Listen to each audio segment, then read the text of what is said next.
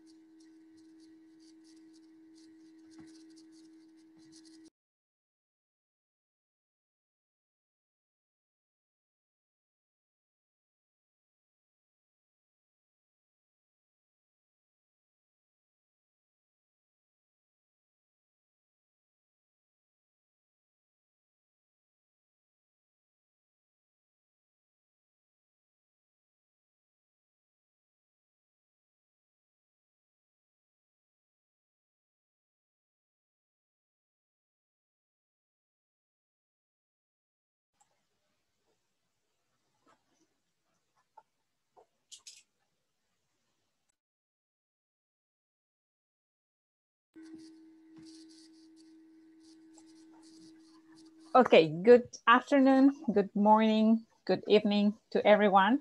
We are ready to start. So let me introduce you to the co-host of this amazing um, seminar, webinar, a Ruth Hall from PLAS. Please say hi. Hi everyone, I'm Ruth and I'm chairing the session today with, uh, with Tanya Ralia Martinez. Um, over to you, Tanya. Okay, so um, it's so amazing to have many people from different regions of the world uh, joining this brand new webinar series, Agrarian Conversations. And today's webinar, it's called What Can We Learn from the World of Pastoralism for Agrarian Wider Agrarian Struggles? This webinar will be in English with interpretation to French and Arabic. Please see the instructions on the screen and in the chat for accessing the translation. And don't hesitate to ask in the chat if you have any questions. If you want to listen in English, stay where you are now. Uh, if you want to listen the translation in French, please press French. If in Arabic, please do Korean. And please, Hamza, can we have you for some seconds to explain that? Yes, of course. تحية للجميع لمتابعة الندوة باللغة العربية المرجو الضغط على زر الترجمة على شكل كوكب في أسفل الشاشة واختيار القناة الكورية أكرر اختيار القناة الكورية لمتابعة الندوة باللغة العربية um, Pour suivre le webinaire en français, veuillez appuyer sur le signe interprétation qui se trouve en bas de votre écran et choisissez la langue française. Merci. Thank you. Um, if in Burmese, please press Russian and help us please Doira, Doira to explain this. Thank you. ဟုတ်ပါမြန်မာဘာသာနဲ့နားထောင်လို့ခြင်းလို့ရှိရင်လေဘာသာပြန်မှာရုရှားကိုနှိပ်လို့ရပါတယ်ရုရှားဘာသာနဲ့ဟိုမြန်မာလိုနားထောင်လို့ရပါတယ်ရှင်ပြီးရင်မြန်မာလိုမေးခွန်းမေးခြင်းတယ်ဆိုလို့ရှိရင်လည်းမြန်မာလိုပဲစာရိုက်ပြီးတော့ chat box မှာရေးလို့ရပါတယ်ကျမတို့ဘာသာပြန်ပြီးတော့ပို့ပေးမှာဖြစ်ပါတယ်ကျေးဇူးတင်ပါတယ် back to you Tanya Thank you very much. Now let's go to Ruth so she can introduce this series of conversations. Thanks, Tanya. So today is the first in a series of, uh, of, we of, webinars called Agrarian Conversations. Uh, it's an initiative largely of Global South scholar activist research networks that decided to come together and launch a new webinar series uh, that focuses on critical agrarian studies and scholar activism. So we recognize that nearly a year into COVID lockdowns, webinars are a busy space. Uh, they're not that original. Uh, why do we want to have a new series of webinars? We want this to be distinctive. These webinars will not be frequent. There will likely be only four or so per year. It's not focused on current affairs, nor are we trying to influence policy, nor are we reporting research findings. The idea is conversations between and among scholars and activists. The focus is on urgent issues in the rural world today. We are choosing big, blockbuster kind of topics, things that have global relevance and resonance. Uh, and we are going to be, in each case, providing prior reading so that people will read and then engage on that basis. We will be putting the link in the chat for the reading for today if you haven't already seen it. Explicitly, we want to foster conversations across generations, foregrounding the voices and experiences of women and people in the global south.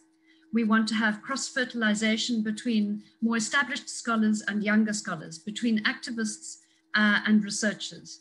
And we want to not only revisit old debates, but address new edgy issues and look at new dynamics in the rural world that need to be understood and confronted uh, as struggles continue. We also want to get big names, big rock star people, and push them to talk in accessible ways about their work and broker a dialogue with younger people, activists, and researchers.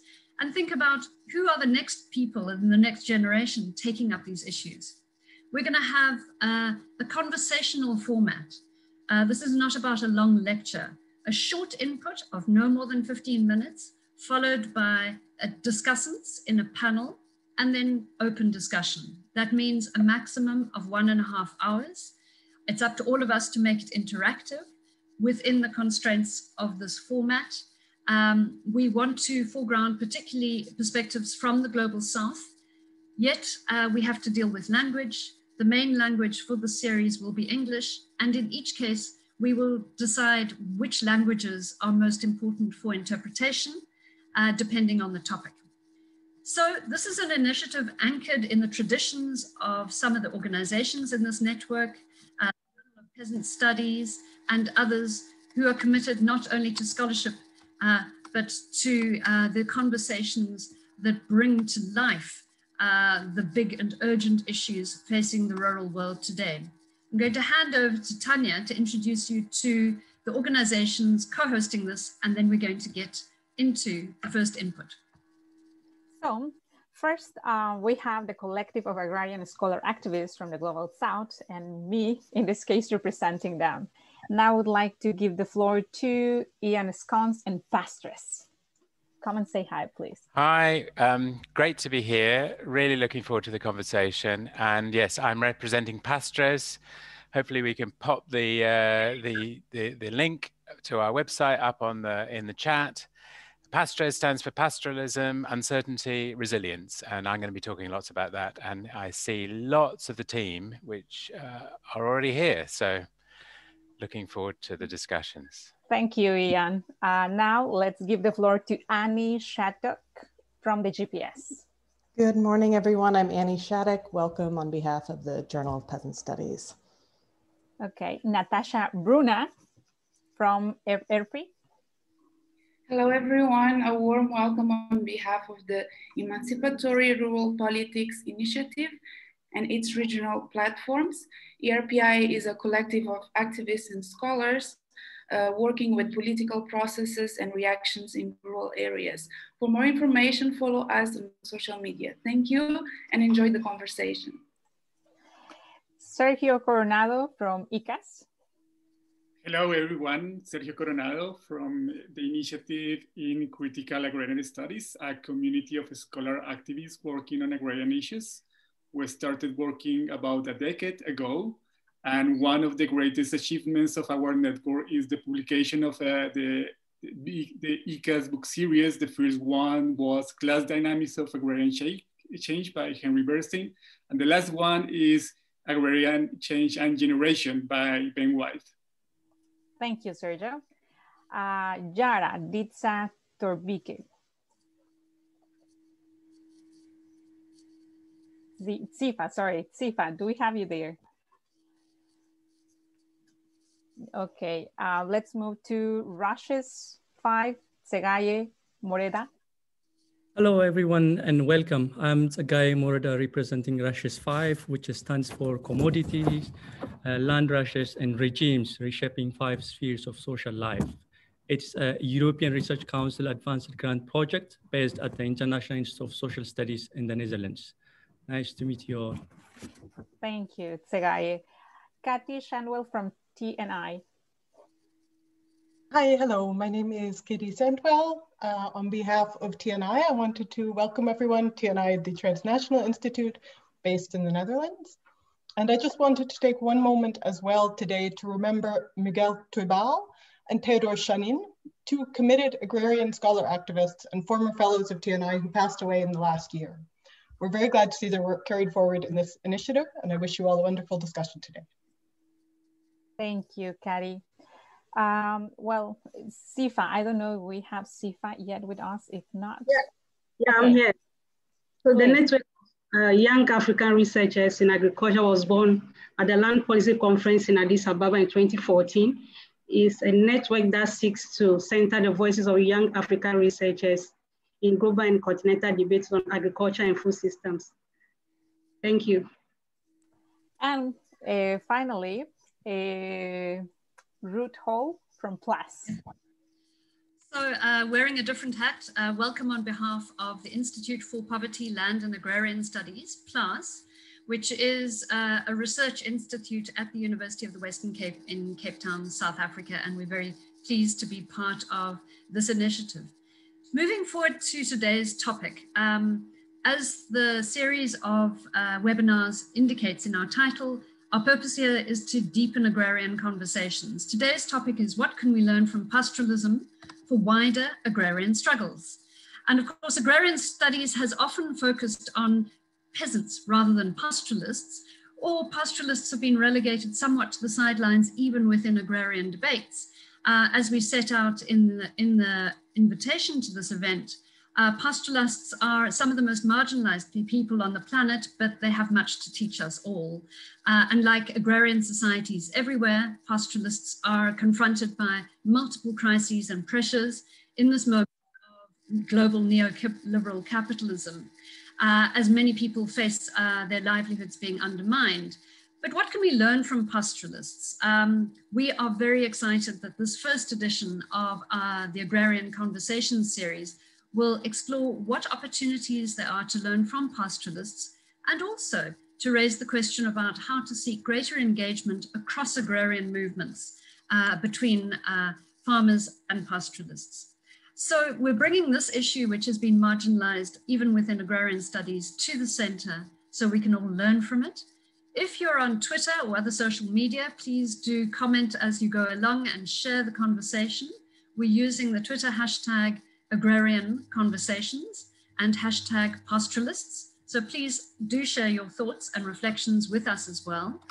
Uh, in terms of today's format, we're going to have one short input from Ian, followed by perhaps provocative or challenging new ideas from two discussants. So Tanya will introduce you to our three speakers for today. Okay, just one a reminder before we move into that uh, to our speakers we need to remember that there's a translation happening. So we need to slow down so the people or, or translators can help us with this huge a task. So let me introduce you to our three greatest speakers of today. First of all, we have Ian Scoones, who is a professor at the Institute of Development Studies, University of Sussex. He leads the Pastres Pastoralism, Uncertainty, and Resilience program supported by the European Research Council. Over the last 30 years, he has worked on land, agrarian change, and pastoralism, mostly in Eastern and Southern Africa. He is also a member of the editorial collective of the Journal of Peasant Studies and author of the background paper of this webinar. We also have Rahma Hassan. She is a PhD fellow Hello, from the University of Copenhagen and University of Nairobi under the Rights and Resilience Projects in Kenya she has worked in social development research, in government, and globally on research on health, gender, and governance. Currently, she is researching community land rights among pastoralism, pastoralist communities in Kenya. Sorry, Rahma, to can you come and just say hi? Yes, hello everyone and welcome. Thanks for joining us today. We also have Mariam Rahma, Rahmanian, who is an in independent expert on issues related to biodiversity and agroecology with 20 years of experience working with smallholder producers, organizations, researchers, and the United Nations at national and international level. She is a member of the International Panel of Experts on Sustainable Food Systems, IPES Food. She also has been a research associate at the Center for Sustainable Development and Environment, vice chair of the high level panel of experts on food security and nutrition, member of the steering committee of the Economics of Ecosystems and Biodiversity for Agriculture and Food Study, and Research Fellow at Institute for Advanced Sustainability Studies in Potsdam, Germany. So as you can see, we have many amazing speakers today. Miriam, please come and say hi. Hello, everyone. I'm super excited to be here. Hi. Thank you. So the dynamics is going to be that Ian is going to speak first with Rahma and Mariam responding. Then we will open up the conversation to include your questions and comments, starting with a few questions that some people already shared through email. Um, so in your questions can be, or you can type them through the Q&A a button that you can see on your screen. If you are also joining us from social media, you can type in your questions and we will try to gather them.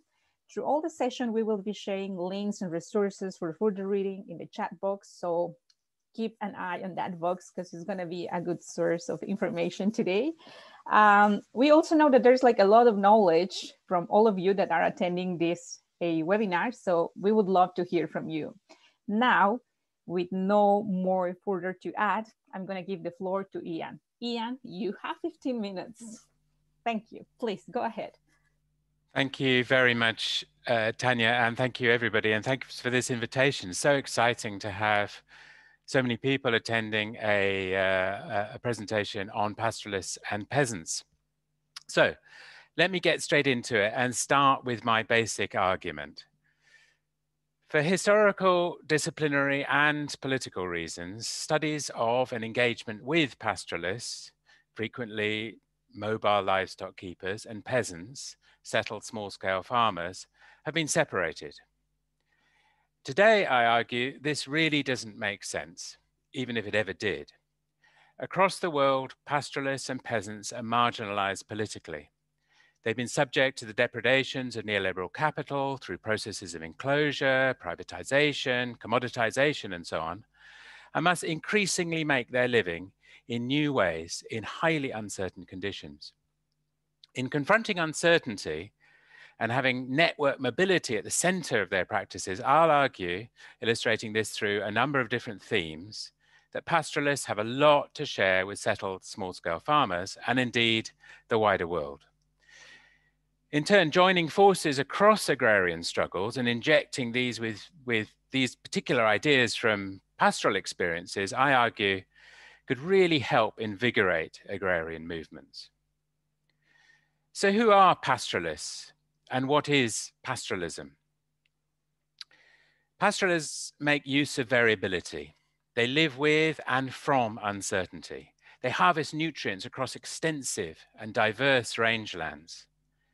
There are many types of pastoralists, of course, from those who are fully nomadic to those who move regularly to those who combine livestock keeping with farming to those who look increasingly like ranchers hooked more firmly into capitalist circuits.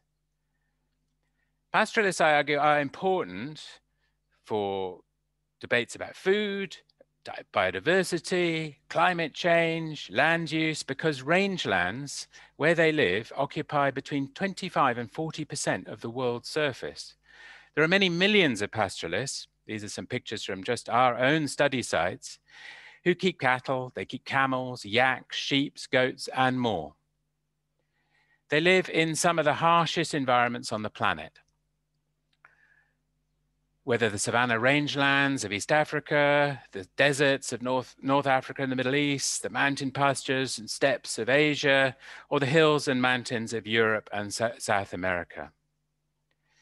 So why have so-called peasant studies and studies of pastoralism diverged so much? And what are the key features of each? Very briefly, peasant studies emerged from the concerns around the incorporation of peasants into capitalism the global forces that precipitate this and the consequences for patterns of accumulation, for social differentiation, for labor relations, for class formation, and yes, of course, for politics. Dominated by Marxist scholarship of different forms and a concern with particular types of articulation with capitalism, the field of peasant studies developed in a particular way. By contrast, Studies of pastoralism were dominated by anthropologists, human ecologists, and others. Initially with essentially functionalist approaches to explain adaptation to difficult environments, such studies focused on social organization, kinship, cultural practices, and patterns of assumed egalitarianism. Now, of course, there have been overlaps and interchanges between the two, but the, for the longest time, inquiries were pursued separately in different places with different frameworks. This, of course, in turn fed into how social movements engaged in agrarian struggles, identified challenges, and coalesced around particular issues. So perhaps the largest social movement in the world, La Via Campesina, for example, focuses almost exclusively on peasants, smallholders, even though with some nods towards fishers, farm labor, livestock keepers, and so on. In the same way, many debates about food justice, land grabs, and so on are so often framed by the concerns of settled smallholder farmers, not pastoralists. That said, AFSA, the Alliance for Food Security in Africa, has a very good set of case studies on pastoralism central to its work. And the argument here is to bring this debate more centrally in. But equally, pastoralist movements have tended to, again, to be a bit separate focusing often rather narrowly on particular constructions of indigeneity, cultural values, heritage, and so on. So to my mind, this separation doesn't make sense, as the challenges faced by both pastoralists and peasants are increasingly similar. So both peasants and pastoralists are politically marginalized, often ignored by the state and the wider projects of so-called development the extension of capitalism, land and green grabs, different forms of extractivism, the commoditization of nature, and so on, affects both pastoralists and peasants harshly. Pastoral societies are increasingly differentiated too, with strong class, gender, and age differences, just as in agrarian settings. And the hiring of labor and migration for work is a central part of both forms of livelihood. I could go on and on. These new shared contexts and challenges, I argue, need new responses. And this is where lessons from pastoralists come in. Again, some pictures from our own study sites. As I've said already, pastoralists gain a living by living with and from, crucially, from uncertainty. Variability is a resource that is central to pastoral livelihoods. Uncertainty can be an opportunity, a source of hope, not just a challenge and a constraint. Certainly from our studies under the Pastoralist program, from Amdo Tibet in China, to Gujarat in India, to Isiolo and Borana in East Africa, to southern Tunisia and Sardinia in Italy, we're seeing again and again how the basic principles of pastoral systems persist despite massive changes to these areas. So some examples. It means that pastoralists are very good at adapting to change through flexible practices, notably mobility, along with the reconfiguration of social arrangements, labor, land, and other resources. So we see this in Kutch in India, for, for example, as Rabari pastoralists move through farmlands, industrial zones, and urban areas, negotiating access to grazing.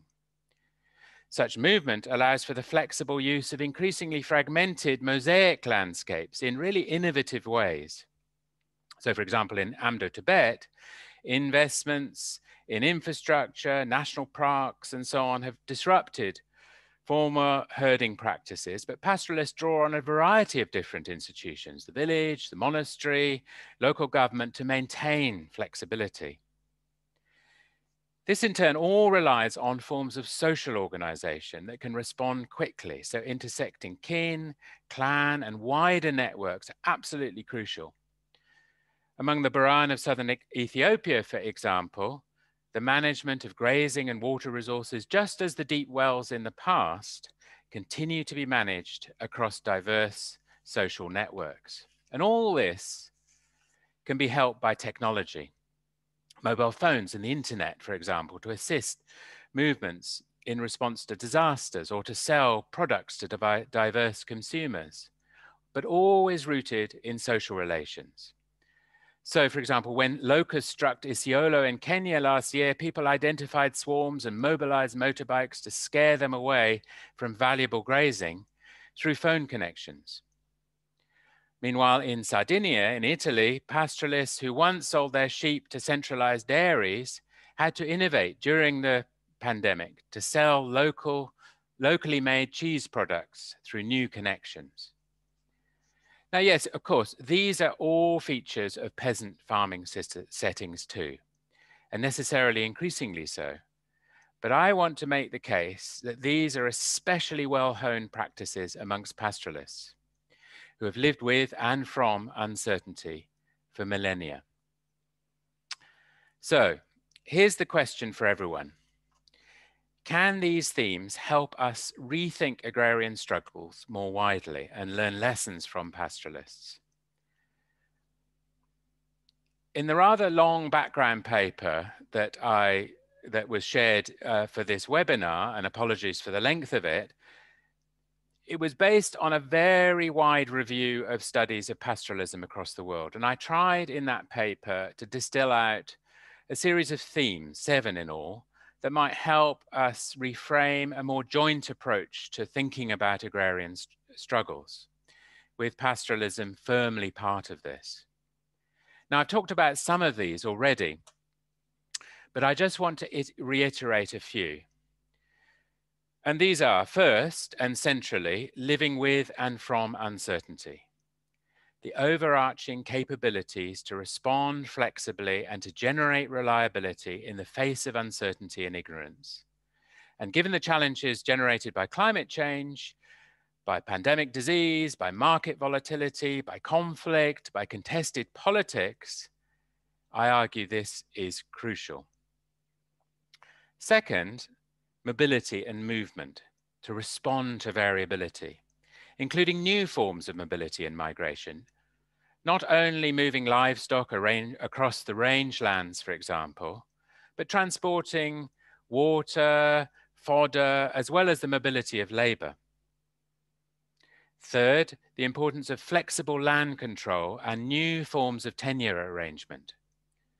Not just fixed forms of private or communal land use, but much more diverse tenure arrangements we see to make use of fragmented mosaic forms of landscape. Fourth, dynamic and flexible social arrangements. We see this as absolutely essential in pastoral settings, allowing for the reallocation of resources, livestock, labor, and other assets to enable this adaptability uh, to changing circumstance. Fifth, the importance of collective social solidarities in a way, a new forms of moral economy that emerge that allow uh, redistributive allocations and survival for uncertain times. Six, engaging with complex real markets, including linking formal and informal approaches to market engagement in flexible ways. And last but not least, a network politics for a transforming world.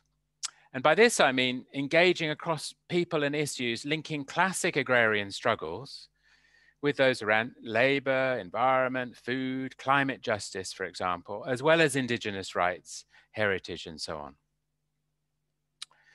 So in sum, to conclude, I suggest that these seven themes can help add new perspectives to critical agrarian studies. And by involving insights from pastoralists more broadly develop new framings, new approaches for agrarian struggles more broadly. By thinking about living with and from uncertainty more generally, I'd also argue that there are wider alliances still that can be forged. Just think about the responses to the coronavirus pandemic, for example. All seven of those themes that I mentioned are highly relevant, North and South as the Pastres team discussed in a recent uh, article in the Journal of Peasant Studies. And through linking out in this way more widely, there are, I think, real opportunities to find common cause amongst all those left behind and made precarious by our increasingly turbulent world. Certainly peasants and pastoralists, but I'd argue others too. So I want to conclude there, and I really look forward to the comments and discussions and uh, uh, hope to hear from our many participants uh, about this debate. Thank you. Thank you very much, Ian. That was an excellent and perfect timing. uh, we will now go straight to our next discussion. Uh, as we mentioned, Rahma and Mariam are going to respond briefly, building on their own experiences. So now let's uh, give the floor to Rahma. Please go ahead. Thank you very much, uh, Tanya and Ian, for introducing us to this paper, which I find very innovative in many ways. And it attempts to bring together pastoralists and peasant uh, debates um, to the fore. A very great uh, way of drawing from both studies and the debates that have been running parallel we are aware, for those of us working in pastoralist uh, studies in East Africa and in this region, about these academic histories that have not paid to pastoralist um, studies and pastoralist issues. And this paper elicits more discussions and observations. For instance, in the just concluded uh, Journal of Peasant Studies Writeshop, we thought about the application of these theoretical frameworks and concepts from agrarian studies in analyzing pastoralist issues. And certainly the three problematics that you put in your paper are a good reference point for us and others working in this area, the production, accumulation, and politics broadly. Uh, for others who are not in academics, this is also important because it helps us to see the current rural challenges and societal problems that are being experienced by pastoralists in different parts of the world, in the global south, for instance, and the peasants as well, and the issues that are preoccupying them and uh, for students studying uh, these two groups. So because we're asking ourselves what we can learn from the world of pastoralists, it's great to have uh, these seven themes as presented by Ian and to help us to rethink uh, this agrarian studies from pastoralist perspectives. But then because we are uh, in, in our daily lives interacting with pastoralists, we observe a lot of blockages to the well-being of pastoralists in East Africa, for instance. And the same is uh, among the small farm holders. So how can we, uh, scholars from uh, the regions working with pastoralists and peasants and activists in this group, and community workers, government officers working with these communities. How can we um, help these communities organize to counter these excesses of accumulation and dispossession and exploitative uh, um, systems? Because these themes are useful and they help us to reflect on the strengths that pastoralists can bring to, and we can suggest that agrarian communities adopt. But then we also um, have some debates around this flexible land control, the dynamic social formations, and the much talked about uh, diversification, which is linked to mobility, which is um, from both uh, sides. Perhaps uh, my contribution to Ian's paper would be just to uh, you know, reflect on this great paper and ask, then we need to pay attention to the threats that face pastoralists. For instance, Currently, the Rights and Resilience Project, University of Nairobi and University of Copenhagen is looking at the land question and the climate change adaptation strategies among these communities. With uh, very many changes happening as described in the paper, there are so many more unresolved land questions and they affect these two groups similarly. Although we observe uh, similar problems among the agriculturalists in East Africa, for instance, there are differences in the laws and policies and how they are relating to the settled communities and the pastoralists. An example of the new law, land law, the communal land law and the institutions that keep uh, pushing pastoralists further away from these seven themes that Ian is talking about. For instance, the law would obligate the pastoralists to reorganize on how they access land and pasture and more towards, uh, you know, individual property rights and less and less about um, on communal grazing. In the flexible access and the land tenure in the paper, we are seeing more and more power struggles and the elites, the modern pastoralists pushing back and, and, and the incursions of capitalism as Ian talks about in his paper. And in different forms and how group ranches are organized, for instance, in Kenya, we are seeing new avenues of exclusion and uh, women, for instance, their identities such as age groups, and there are more and more um, people being left out and excluded. So who is being included and excluded, even as pastoralists, um, through these seven themes, uh, cope and survive over the years?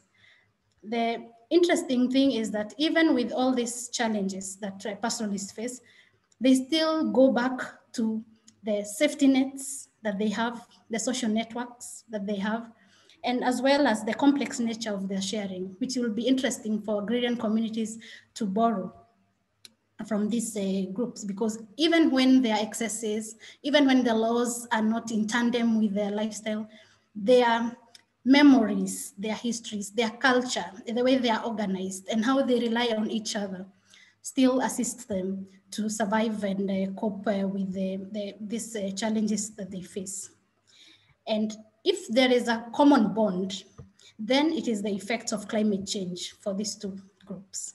And there's a lot of attention globally on climate change, food systems, and these two groups are affected, yes, differently because pastoralists are interacting directly in the arid and semi-arid lands, some Ian talks about devolution and you know how different groups are getting uh, into blocks to organize.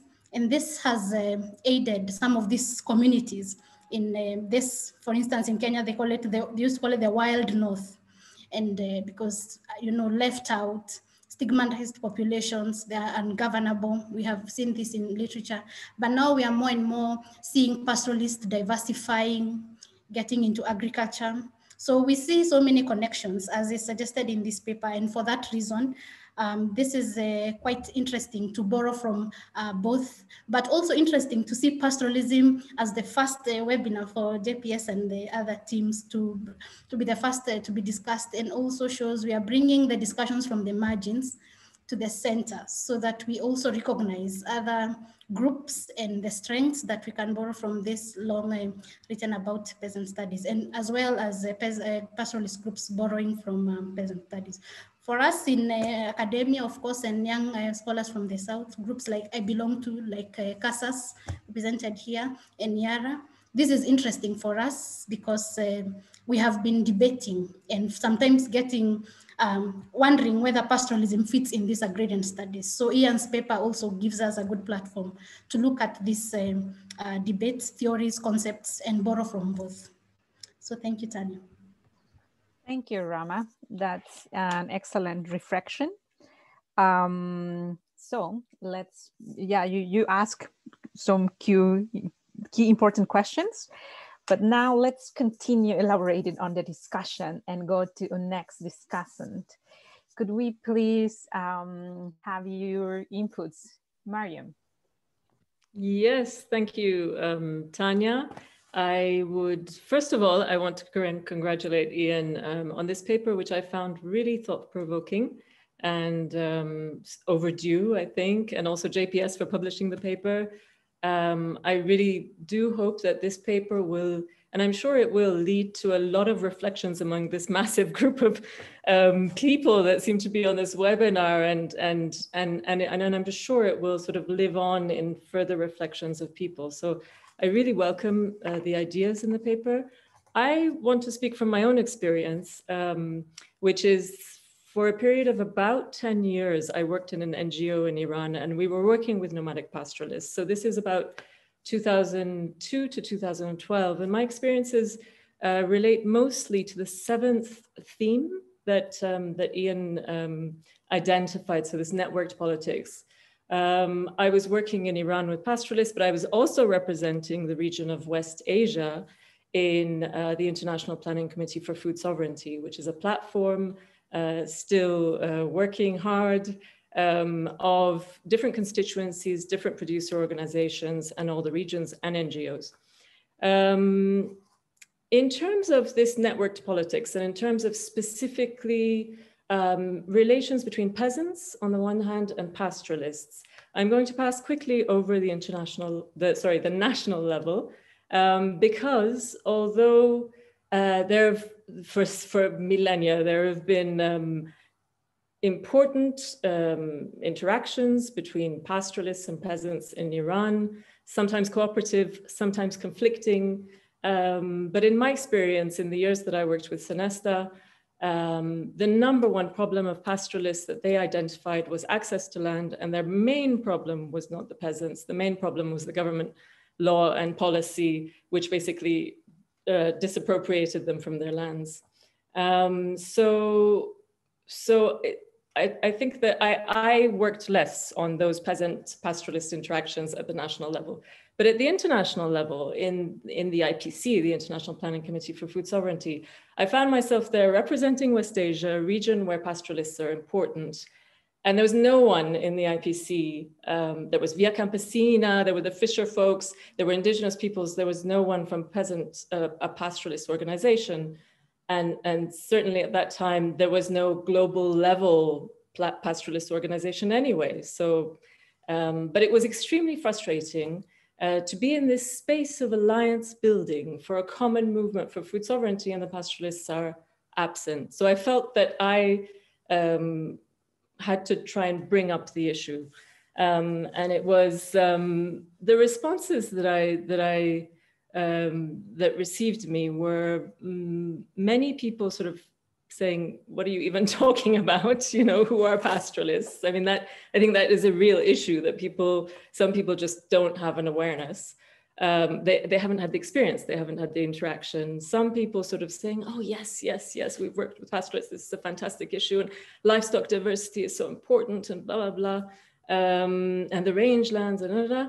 but nothing really much happened. Um, but after some years, after some years of going on and on and sounding like a broken record, um, stuff did start to happen. So I'd like to speak about two specific experiences, which for me were very important.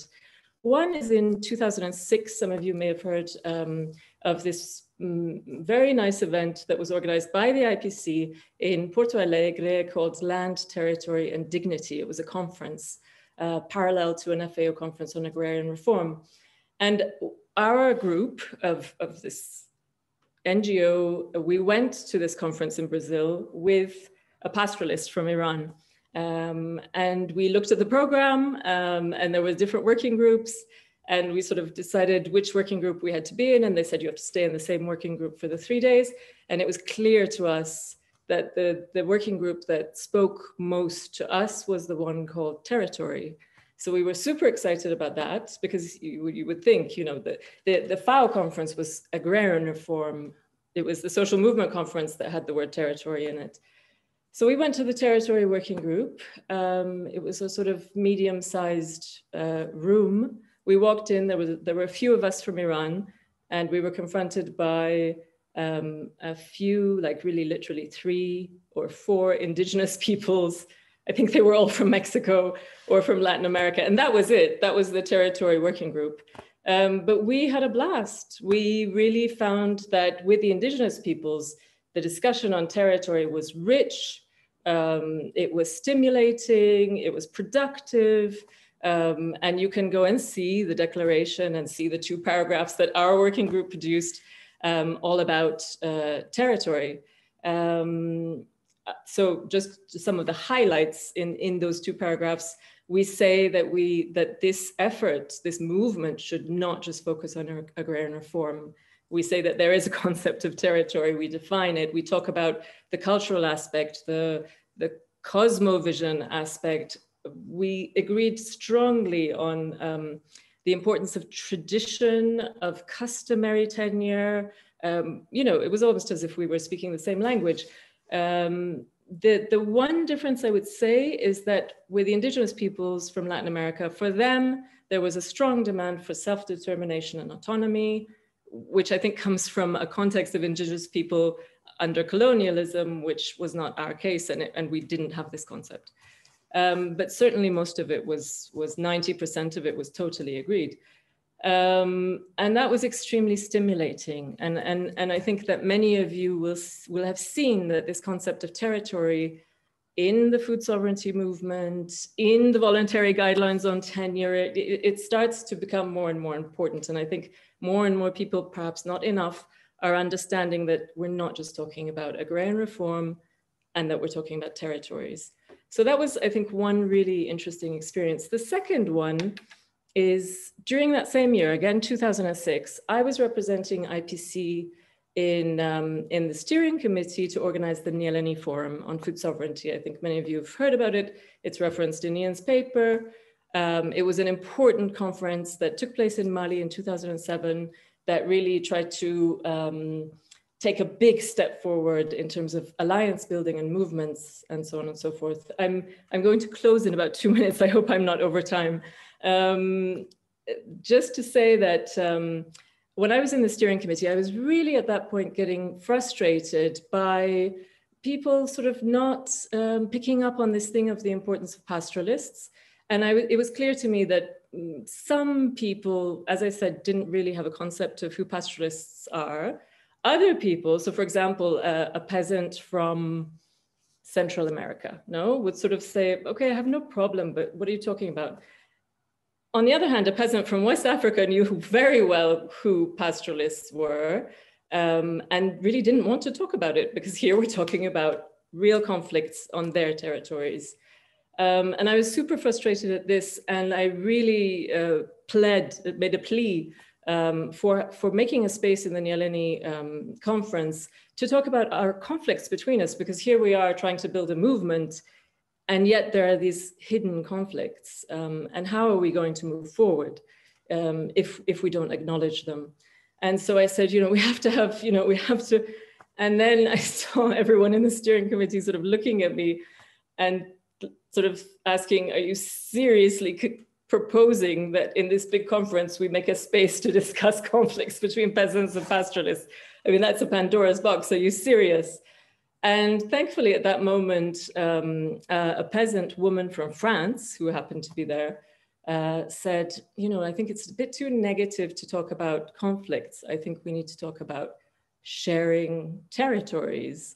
And that was just like an aha moment. Um, and, and one of the working groups in that conference, you can find all the documentation online, is called Sharing Territories. And so this, this space was created in that conference, and you can see the outcome. Um, and it was really interesting because the people, again, it was not one of the bigger working groups, but it was extremely diverse, maybe 30 people, peasants, pastoralists, fisher folk. I mean, they'd been attracted by this name, sharing territories. And they came together and they basically said, we, we do have conflicts between us. We've always had conflicts between us. We've had ways of negotiating and arbitrating these conflicts. And those ways are no longer working.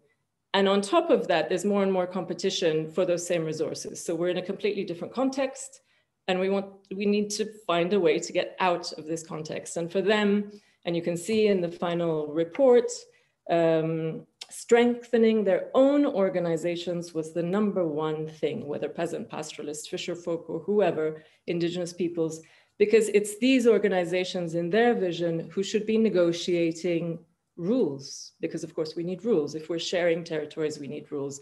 And it's we need these strong organizations which can negotiate and create rules and arbitrate on these rules.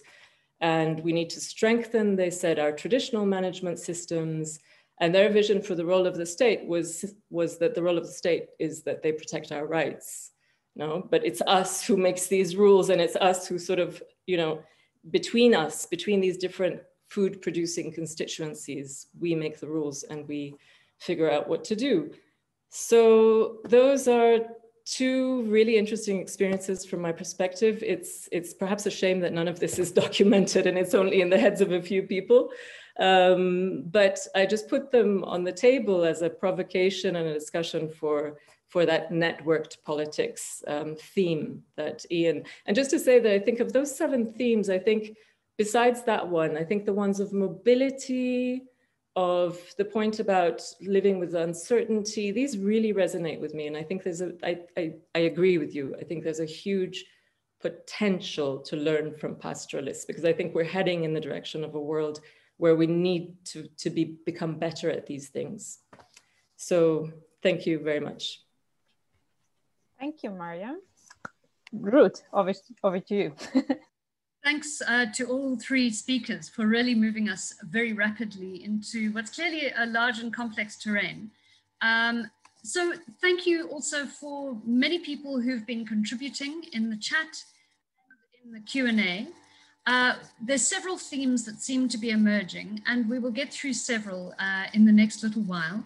Uh, so please do not only ask questions, but also we're very interested to know your responses uh, to the arguments that have been set out. What resonates uh, in the context in which you are living and working, uh, and which are the areas uh, in which you take issue with or disagree with Ian, Rahma, or Mariam. So we are, we are going to do as best as we can to get through these questions. And to start off with, uh, perhaps we can pick up on several questions that address the question of the state. Um, and uh, several people have, have dealt with that. Um, and uh, I'm just going to try and find it. Yes, uh, Fahmid Zaid said uh, in the Q&A, what's pastoralism's relationship with the state and borders? State and borders can be considered a useful theme in this review. And I think perhaps this relates to points uh, that some of you have given, uh, made in your inputs. Rahma talked about uh, states viewing pastoralists as unruly or ungovernable. Uh, Ian, in your paper, I think you talked about uh, the ways in which states have presented pastoralists as being barbarians outside of the gates, outside of territories of state control. And Mariam points out that actually um, pastoralists' main concerns was not peasants in the Iran um, Cenesta case, but rather uh, access to land and state laws. Uh, so um, perhaps what we can ask is for our panelists to engage with this question of ways in which pastoralist struggles uh, are on the one hand for territory, uh, which often brings them into confrontation with the state, not only in relation to, to peasants, and the potential therefore for, uh, for joint alliances. Who would like to, um, or perhaps we can ask in the first instance, since Mariam touched on this quite a lot, if we could get some short responses on the question of how pastoralist movements and uh, peasant movements uh, uh, might connect in their engagements with states over territorial control. Any thoughts, uh, firstly from Ian, briefly, on thinking about the state and the state in relation to pastoralist uh, strategy, and then Rahma, if you'd like to add. Thanks, Ruth, and thanks for the question. Uh, it's a really important one because the relationship between pastoralists and the state obviously is one of often of tension. And the question asked about borders. Borders often were imposed on pastoral territories in an arbitrary way during colonialism and indeed before, meaning that ethnic groups, trade routes, etc., were divided by arbitrary divisions of the state. And as the states tried to assert power in the margins of their territory, uh, the narrative about pastoralists being unruly, barbarians, if you like, outside the settled state, um, held sway. And this is why the tension very often between pastoral societies and central states exists, and why development projects and modernization projects and capitalist projects of intervention in these areas have been so fraught and why there is a struggle very often between state authority and pastoralists. There's a fantastic paper in JPS by uh, Tor Benjaminsen and Boubacar Ba on, on Mali. Why do pastoralists join up with jihadist movements in, in parts of, of the Sahel? Well, the answer is, from their analysis, not because uh, you know they have any necessarily have any particular affiliation with with these these struggles, but because the, the jihadist movements are opposing this type of this form of state authority, which is has been undermining their livelihoods for so many years. And pastoralists you know, we, we have in one of our uh, publications the, the you know, taking from Jim Scott's argument about seeing like a state. Well, what does seeing like a pastoralist mean from the margin? Seeing like a pastoralist is very different. And not surprisingly, pastoralists see the state as a source of rent extraction, a source of uh, land grabbing, a source of uh, a set of grievances which often go back generations. So it's not surprisingly that in most settings, the tensions between the state and pastoralism is, is, a, is a core aspect of politics. But the argument that Mariam, of course, made is that many of those grievances are the same as what peasants face on the margins. And that's why I think the network politics and the alliance making is actually more tangible these days and more potentially more productive as both groups suffer the same form of depredations, either from the extension of capital and investment or the, the effects of the state. Thanks again. So pushing on with this question of the state and, and uh, Rahma, maybe you'd like to add on to that.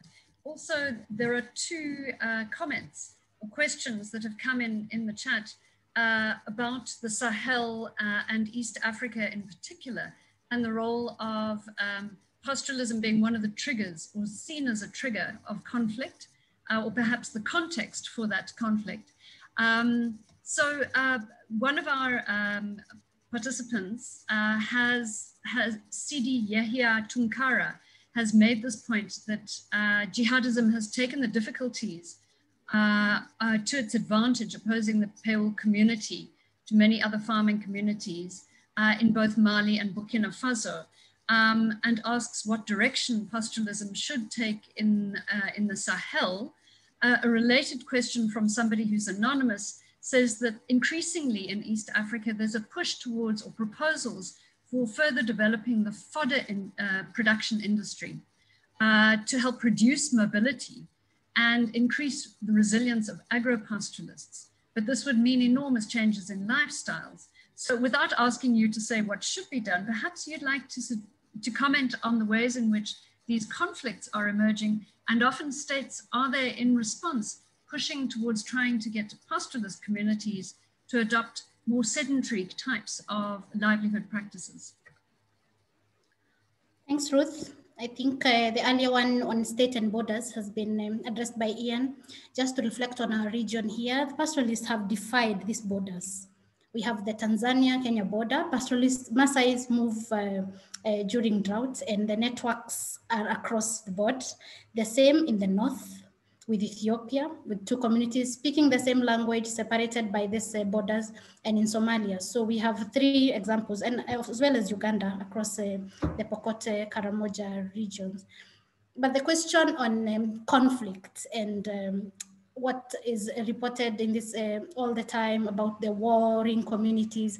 Uh, sometimes we hear reports that this is about pasture, this is about uh, uh clans but this is more, it's, it could be a scholarship question, but it can also be a policy question. And looking at uh, governments and how they address uh, these issues, these threats on uh, exploitation and climate change are equally pressing for pastoralists as they are for the peasant producers. And if government has, has over the years, we have seen in literature how pastoral communities have been marginalized. And this certainly lies in policies that improve the basic services for these pastoralists. Because if it's about access to markets or livestock, an example here about how we can have fodder and reduce mobility, that's actually one form of mobility, as Ian um, says in his paper, that mobility not in the traditional sense, but also how can we move pasture? How can we move, you know, even um, ideas to different uh, places and communities so if government doesn't support pastoralist production and the focus in many of these communities where we are, are on agri agricultural communities, it would benefit to have policies that are, you know, towards um, ensuring these uh, pastoralist communities also benefit in having access to these services and water that sometimes causes this conflict. But the inevit inevitability of conflict, of course, has been debated elsewhere. It is not true that this conflict is happening and likely to happen. is like a ticking bomb, but communities are just trying to survive and cope uh, uh, within the means that they have.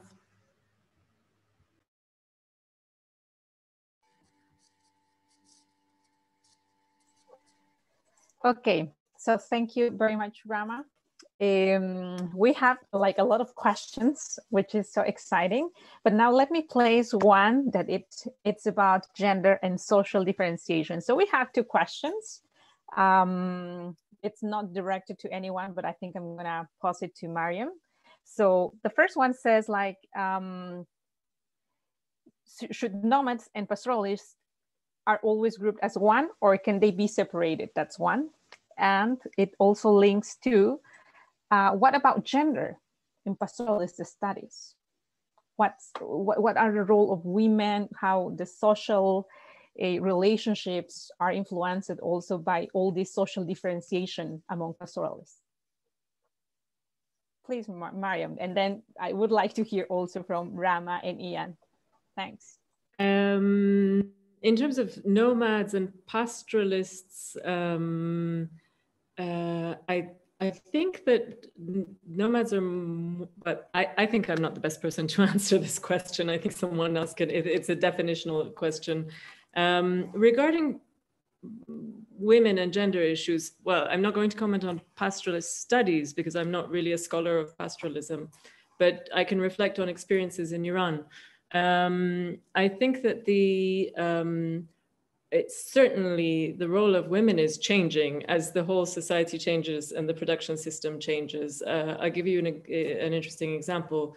Um, pastoralists in the northwest of Iran, as in some other parts of the country, and are getting more and more access to irrigated land for farming, privatized with deeds. So they're trading large areas of rangeland territory, grazing territory, for a smaller piece.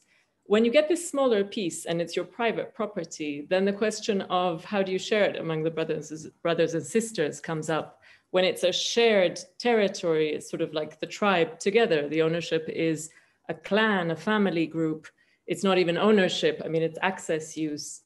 Um, these types of things, I think, I, I think the role of, of women and, and gender issues are changing drastically um, I'm afraid I'm beyond just these examples. I'm not sure that I'm the best person to try and get a, um, a conclusion from that, but I certainly think that um, it's interesting. Thank you. Okay, um, Ian, but then I'm, I'm also adding another question. What about the role of future generations? if we're thinking that that relations are changing but also like with pastoralist communities are not homogeneous Absolutely. I mean, just to echo what Mariam was saying, I mean, what we're seeing in virtually every pastoral setting across the world is this process of increased differentiation and increased differentiation by class, by gender, by age. And this means that different people have to now specialize in different ways in the pastoral system. And this has both negative and positive implications. Very, I mean, sometimes new resources, particularly privatized resources or increasingly commoditized forms of pastoralism tend to be taken over by men to the exclusion of women. But there are other opportunities. For example, in East Africa that Rahma will know well, women have taken on a massively important role in the marketing of camel milk, for example, hugely important commercial chains across the region. So we see quite a, a variety of different gender and age relations emerging. But I think the important thing to, to, to, to comment on is that the process of uh, incorporation within the state, the process of the extension of a particular type of commoditized capitalism that's affecting pastoral, pastoral areas as it has done um, peasant areas, is this shift to more to, to a more individualized form of, of production and a more individualized form of territoriality? Because in the past and this still exists these collective forms of solidarity and social relations were so important as part of pastoral systems and they still are.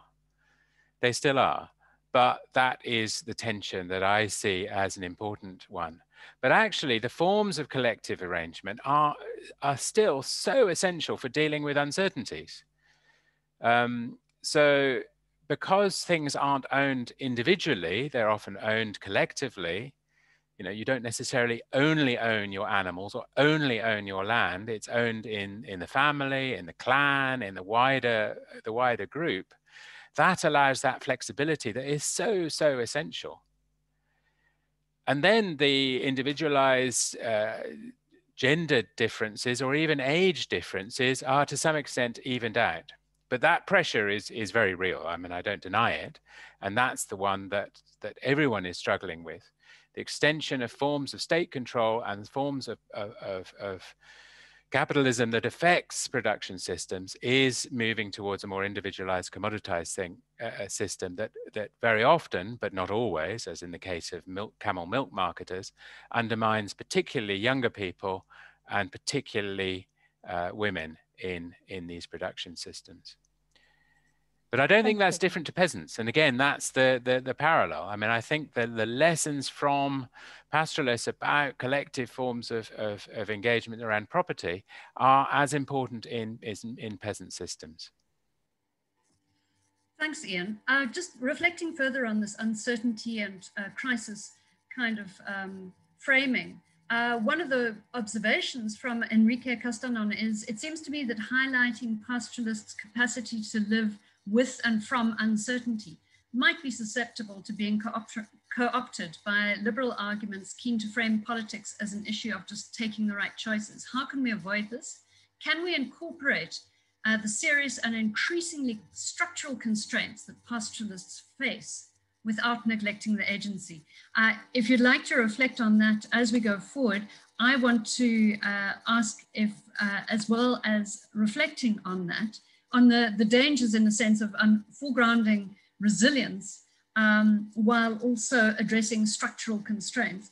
If I could ask any of you to uh, share with us, uh, several people are sort of calling for, uh, are there particular, beyond the, the global network level, are there particular local contexts in which um, effective alliances have been built between uh, pastoralist and peasant communities um, uh, in response to shared structural crises. Um, in other words, uh, this kind of moment of, of, uncertainty that can actually forge divisions between pastoralists and, and peasants, are there cases where that's been, uh, uh, when populist attempts to, to foster conflict across those two communities has rather given way to, to alliance building at a very local level? Can we learn from some of the positive examples uh, in local alliance building? So those two questions, how do we hold back against the uh, sort of um, co-optation of the resilience narrative um, to address uh, the agency and structural constraints? And what are the positive examples of alliance building at a local level? Yep, thanks, Ruth. I think uh, the point on uh, the gendered pastoralist network has been made. And uh, of course, we relate a lot with these patriarchal networks in East Africa that have been written about in the past and uh, who owns what and uh, who gets to benefit from these resources, it land or who is who has the um, permission, for instance, to sell a cow or a smaller animal like a goat, and this has been written about. But then there's more to look into the gendered networks of pastoralists. So the seven themes that uh, Ian presents in his paper can further be looked into to the sides uh, that uh, the role of women and, the, and gender in this uh, in this uh, too and of course culture and religion i think uh, comments from the participants are referring to this islamist group jihadists and in East Africa, we have a bigger problem um, uh, on, on that as well. So is it because pastoralists uh, relate to these struggles or are they part of the struggle? And do they find this as a form of expressing their struggle when they are pushed to the corner or are they just um, in their uncertainty trying to adapt and uh, cope with what's happening around them? In local networks, for East Africa, I think someone else in the chat or group who works with the small farmers can give examples. But uh, the recent arrangements in Kenya, where we have um, devolution, and so pastoral communities and agricultural communities are sort of have to work together to, to have this going. Of course, we don't have strong movements unless someone from East Africa in the group can share, but then there are opportunities based on how resources are going to the to the ground and how these groups continuously have to be together, forced to be together or have been relying together, but now resources are bundled together for them. So these are opportunities for them to, to exploit. Might come in, Ruth? Oh, Mariam, you go first. Okay, just quickly on um, sorry, just quickly on um, the alliances at the national level or some kind of conflict resolution at national level. Uh, to prepare for this um, discussion, I asked a colleague who works now on a much more regular basis than I do with pastoralists throughout the country. Um, and I asked her for a positive example, and she had to think long and hard, um, but she was able to find one. Um, and so there are a lot of there are small scale, sometimes larger scale conflicts over access to territory. Sometimes it's the farmer taking his sheep into the rangelands of the nomads. Sometimes it's the nomads going uh, in, the, in the other direction. And she said there, she did know of one case um, where they basically, and what happens normally is these, these conflicts, if, if, you know, they tend to end up in some kind of court system if they're really serious. And in that sort of state um, justice system, there's a huge bias towards um, farmers, of course. No, there's a strong um, blindness, if you like, to, to the importance of pastoralism for all these reasons. In this case, um, these two sides were able to negotiate a shared access. And my understanding is that that had to do with the leadership that both sides showed and that uh, specific leaders who said, look, let's not get into the court system, we can figure it out. Um, so that's that's one example, but it wasn't easy to find it, I'm afraid. Thanks. Ian, you wanted to add? Yeah, just quickly. Um, I mean, of course, there are many, many conflicts between pastoralists and agriculturalists, but also between pastoralists and between agriculturalists. We have to ask, well, what is the origin of these conflicts? Um, because there's this standard narrative that pastoralists and agriculturalists are always at loggerheads. But this is, you know, simply not true. I mean, we've seen, as Mariam just mentioned, and, and Rahma, that there have been long-term negotiations between agriculturalists and pastoralists. I mean, the sharing of dung, the use of, of fodder, and so on and so forth. This, the mutualism between these groups has been, been very long-term and continues to be almost uh, more so these days as the constraints on territory become uh, you know more the obligation to negotiate uh, increases. And very often this is highly successful. Where do these conflicts come from? Not from necessarily, you know, just because farmers hate pastoralists and vice versa. It's become, it tends to emerge from wider grievances against the state or impositions and land grabs of particular areas uh, uh, through larger investments. That's a different dynamic. That's a different causal relationship of this conflict. Um, and I think we have to be quite careful there. There's a great paper that uh, was produced by Saverio Kratli and um, Camilla Toulmin at IIED recently on farmer herder conflicts in West, Central, and Eastern Africa. I'll, I'll find the link and put it on the chat. And basically, they looked at all the data on conflict, and most of the data was not due to farmer herder conflicts, which was the narrative, it was actually due to wider structural issues of the consequences of investment, the consequence of state imposition. And this is where the structural question comes in. So it's not just agency. Agency is important in this, this day-to-day -day negotiation, but that agency is often constrained and conflict erupts because of these wider structural constraints uncertainties very often are the, exactly the result of these wider con structural constraints. So we've got to keep these in tension and, and, and uh, talk about them together. But just to say that all conflicts result emerge from, from animosities between farmers and herders is simply not correct. These conflicts emerge through wider structural changes and relationships with state and investment in marginal areas. And these are increasing. But that's different to saying that always farmers and herders are at, are at loggerheads because actually over millennia, they've necessarily had to get on. Super, thanks Ian. Now just thinking about as we're going to be moving towards wrapping up, a, a huge range of themes emerge from uh, the comments and the questions. Uh, one around these concepts of uncertainty we've been dealing with, one around that these are actually much wider generic issues about managing the commons um, and that much can be learnt from engaging more deeply with uh, issues around uh, the commons. Some of the participants who have commented on that particularly have said um, Uh, we need to look at understanding systems of managing the commons, uh, uh whether agropastoralists, that sedentary farmers who also own mobile livestock, can provide lessons on, on the politics of shared territories. Uh, many people are asking, um, uh, what's the relation between pastoralist communities and the agrarian reforms that some farmers are pushing for?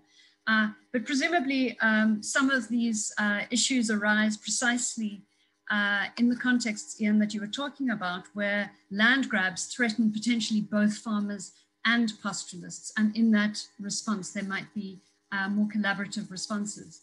Just before we head towards uh, wrapping up, there were um, a couple of questions that specifically asked about uh, questions around um, indigenous knowledge, uh, decolonial theory, um, and, and forms of, uh, of identity politics.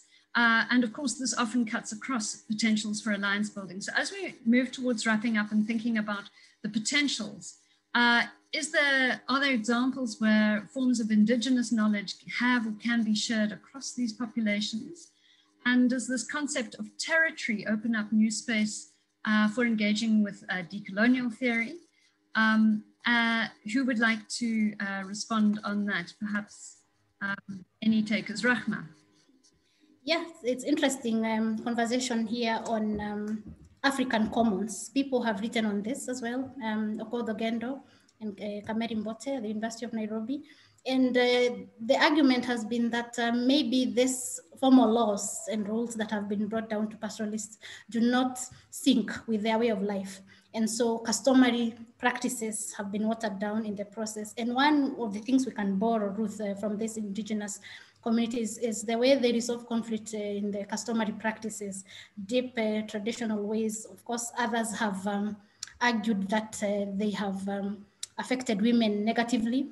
And so, you know, there's an argument against those, but um, largely in terms of um, coexistence and sharing resources and solving problems across uh, communities, this is one of the things I think we can look at um, in terms of um, how we can borrow from the knowledge that exists among these communities.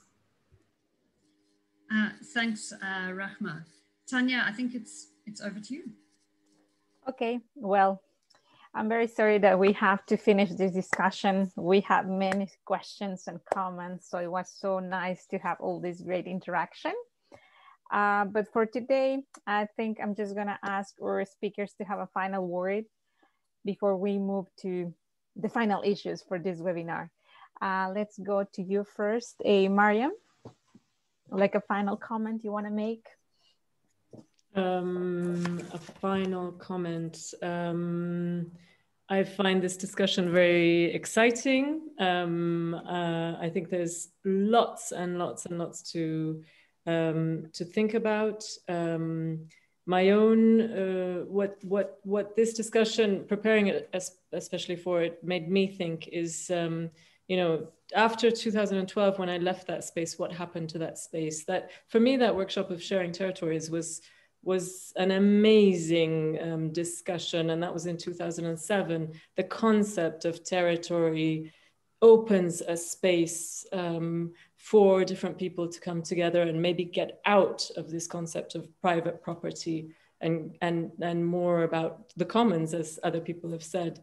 Um, and what happened to that discussion? I ask myself that question. Um, i don't know what happened to that discussion. No one really took it as far as i know took it forward at least at that level but i think that at the local level as the small example i shared from iran that there are there are cases of different groups coming together and saying, let's not go to the courts, let's solve this ourselves. And I think it would be wonderful to find those, to find them and to, to understand what's happening and how to promote them. Thank you. Well, I hope this platform helps to bring more people that is working on that issue. So you can like create this network. Um, Rahma, please. Uh, thank you, Tanya. Um, interesting conversation, and um, I can see the interest from around uh, the globe. and so many comments from our region, of course, with other people who are directly working with pastoralists, living, and who are pastoralists themselves. So this is a good opportunity. There are other platforms, like I mentioned in the beginning, and so many interests coming from different uh, groups, researchers working on pastoralists. And globally, we have seen a lot of attention on ecosystem restoration, like the UN Decade on Ecosystem Restoration. Previously, we would hear pastoralists are exhausting and degrading the ecosystem, but now we are seeing that actually they are agents of change. And so they are adapting to these harsh environments. And peasants can also borrow and maybe move into the arid and semi-arid areas and you know make them adaptable and move away from the reduced uh, uh, farmlands in the arable areas. So there are many things we could um, share on this and it's great to see so many people engaging and looking forward to sharing our findings and reading from others who are working on similar areas and uh, engage further with these conver agrarian conversations.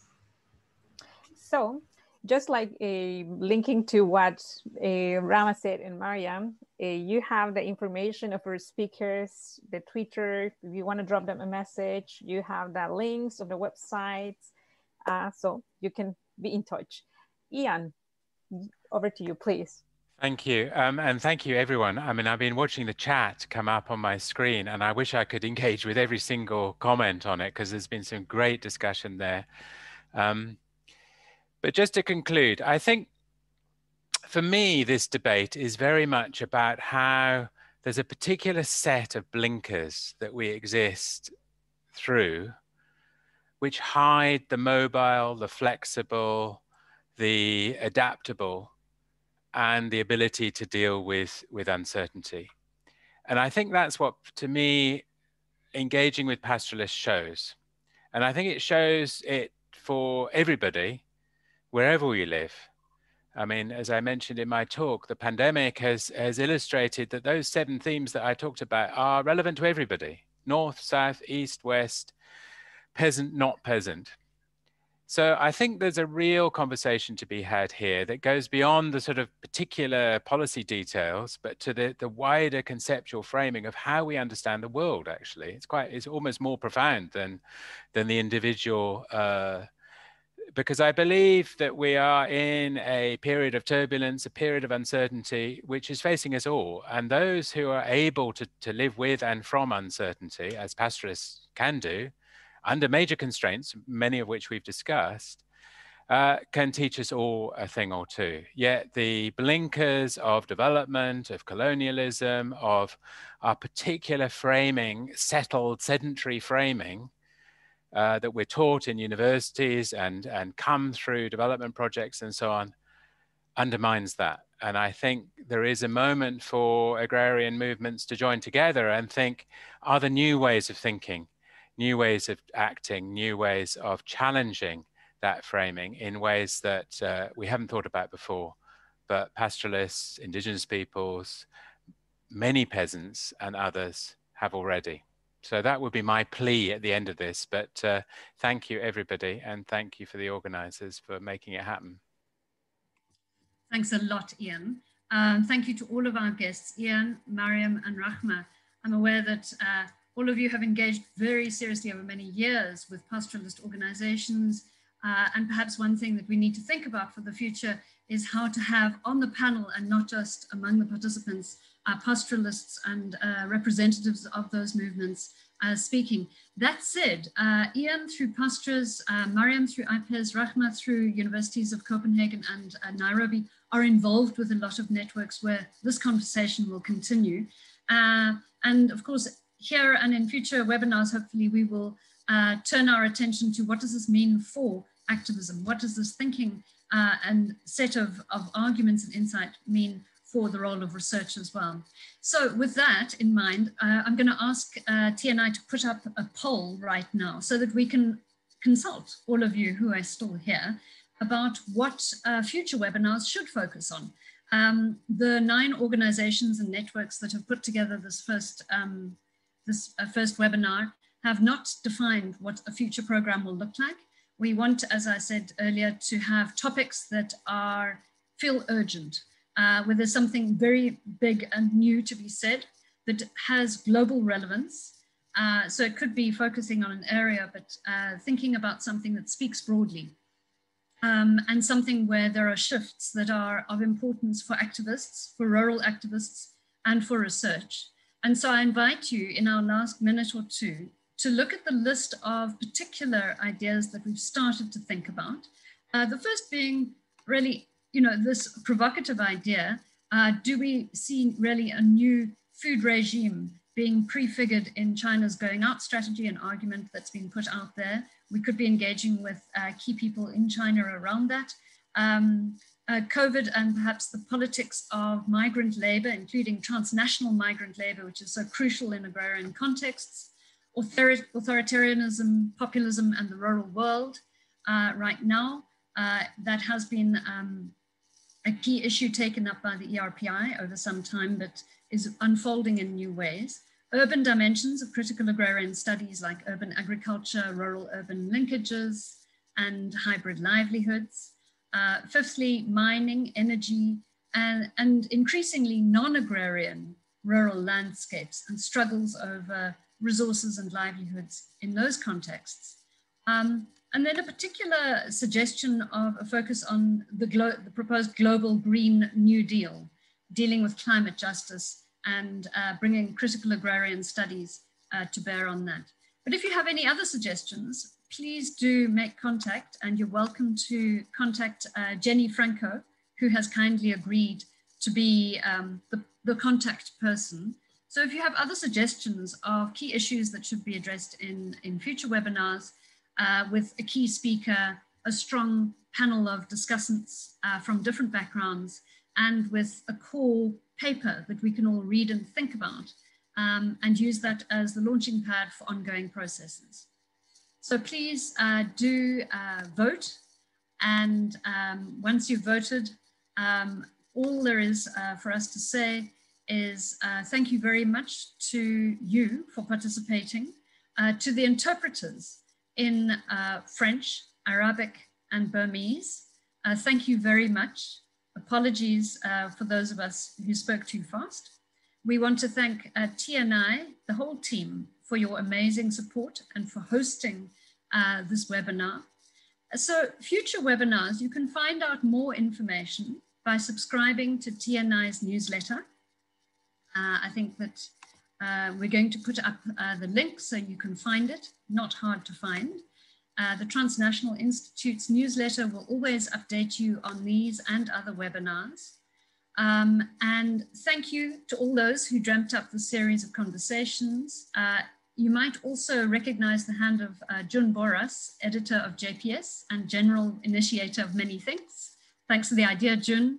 Uh, a last advert for, no, two last adverts. Firstly, um, an invitation to look at or listen to the Agrarian Politics podcast, which is anchored at my institute PLAS, but also collaborates with uh, Journal of Peasant Studies and CASAS. Uh, so you can find that on the PLAS website, or you can follow most of the organizations here. Uh, the second advert is to uh, mention that next Friday, there is the next TNI webinar, which will address the Arab uprisings a decade on with a focus on Egypt and uh, Tunisia.